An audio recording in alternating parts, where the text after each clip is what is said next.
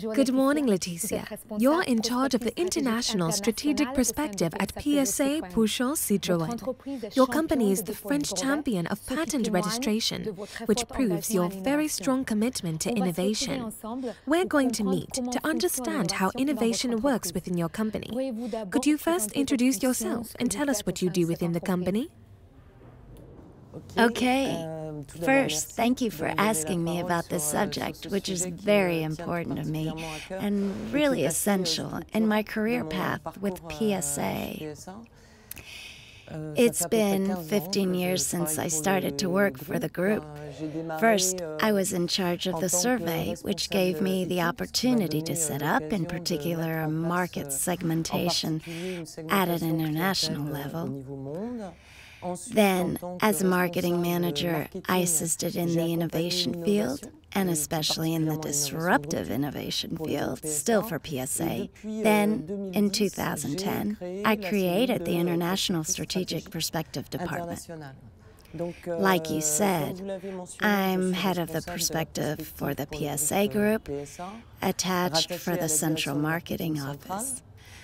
As such, my mission is to situate the PSA group in relation to the big societal stakes, especially on mobility, in order to drive the group's strategy. But on the other hand, I also have the responsibility to guide the group on the basis of the aspirations and the needs of the future clients so we can generate innovative concepts.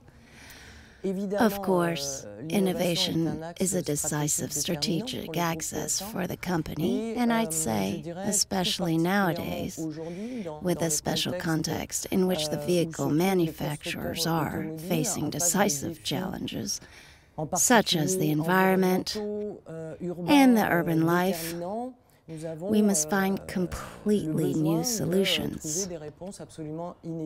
And I use Armand Hatchuel's concept of intensive innovation, which means that beyond the increase of innovation rhythm, we focus on multidimensional innovation, and we deal not only with the object, the answers, terms of product and service, but also with the question of the value model and the integration of the object in a social and anthropological concept. A typical thing for us as vehicle manufacturers is to consider the mutation, the fact that we shifted from automobile designers or producers to a profession proposing a real mobility with intelligence. We're really dealing with a mutation. So, the group is committed to this type of thought and needs very efficient tools and new approaches to use them. In order to develop them, we set up a framework of close cooperation between strategic marketing and the Innovation Office. And among all these methods that you mobilize, how, how do you define your innovation target? So, the clientele we target, I could say they are identified mostly by a clientele segmentation process. We developed this approach several years ago. At a global level, we rely on qualitative and quantitative surveys based on processes which associate a local and global view. We always start with local studies, which give us information and insight into local specificity, and then we find crossovers. And we highlight crossovers which allow us to build a global landscape. And these clientele segmentations were designated like Russian dolls, which allow us to work on more or less accurate levels according to the context or the topic. In concrete terms, we can divide the whole world demand into nine territories of different customers. In these nine territories will come, for example, in Europe, in 140 different profiles. This is used for just a vice quick overview. In this MOOC, we focus especially on the persona method, and in the case of this segmentation, following this segmentation, do you use this method, and for what purpose? yes, we use the persona method. Since we work with clientele segmentation, we've always needed to give life to these studied segments. I think that for two years now, we used the personas because the process seemed interesting and efficient rather concrete. So, why do we need personas today? Especially today? Well, in the context that I previously described, we need to make a number of diverse stakeholders work together our clients, our advisors, our designers, our decision makers to mobilize various competences our engineers, our designers, marketeers, economists, and to ensure that everyone can communicate with each other, we must develop a common culture, a common language, but also a common time frame. And you can say that this common language is the client and his context of life.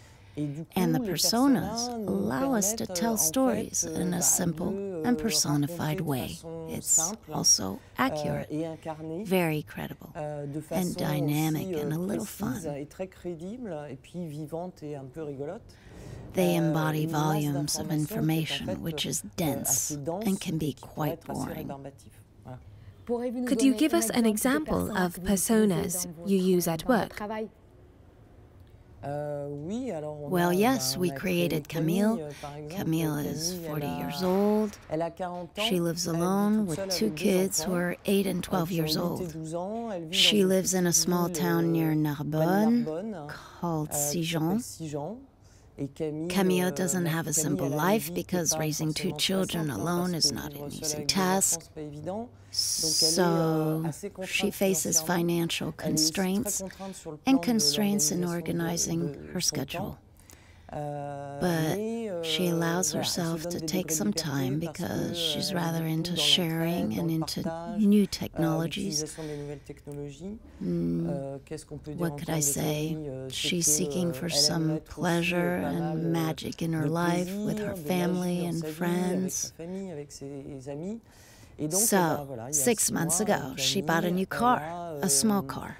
Not very expensive, but brand new because she needs to know she can rely on it and feel reassured. Reassured whatever happens.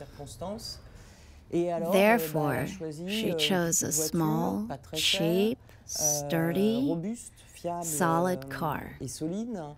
But she also wanted something bright, fancy, a little techno, well, a bit like her personality. And thanks to Camille, we managed to make all our collaborators understand what are the expectations of these type of small car users. So, if I'm understanding you right, in order to create your persona, Camille, you dealt with qualitative and quantitative information you gathered during your clientele segmentation. Yes, yes, because our personas aren't totally fictive characters. They're archetypal customers. So, so we build a profile, rather archetypal, by using all the instruments available. You can notice that our personas are not just consumers with needs, habits, and a budget. Um, they're also citizens designed with a life context, a private context, a social context. We describe their aspirations, their values, their lifestyle before highlighting their mobility and their relation to an automobile. Thank you very much, Laetitia, and I hope we will have another meeting very soon. Okay, thank you.